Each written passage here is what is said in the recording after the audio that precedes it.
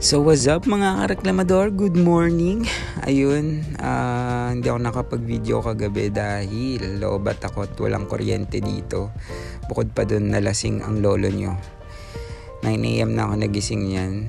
Ayan, naligo kami sa cold spring kasama si baby boy.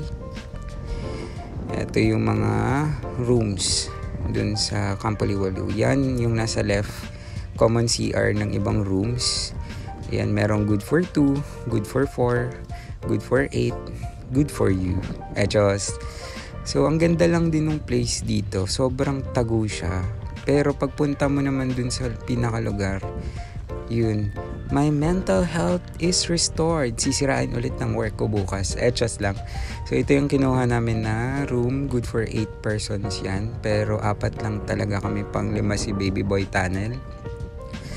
Kinuha din namin to kasi may sariling CR at saka nasa pinakadulo na siya. So, kitang-kita namin lahat ng view. So, ayan yung view. Medyo malakas yung hangin dahil nga may bagyo pa. Pero pinush namin to. Ay, actually dumayo lang talaga kami dito para mag-inom eh. Ewan ko ba sa mga kapatid ko. So, mag-room tour muna tayo.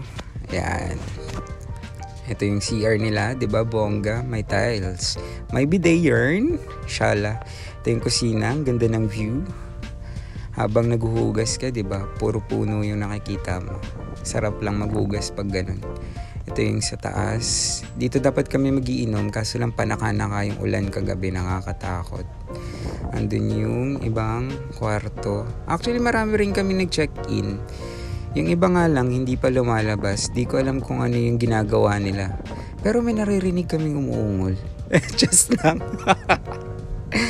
Halos lahat ng nag-check-in dun kanina puro couples. Tsaka nakamotor. Medyo mahirap din kasi ditong puntahan kapag nakakotse ka kasi rough road pa. Bukod pa dun, um, medyo looban.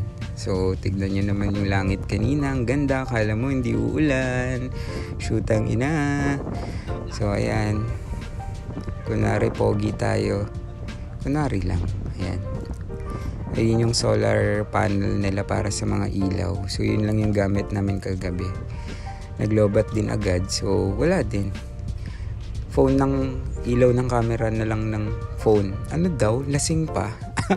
Yan video video. Okay, bye-bye!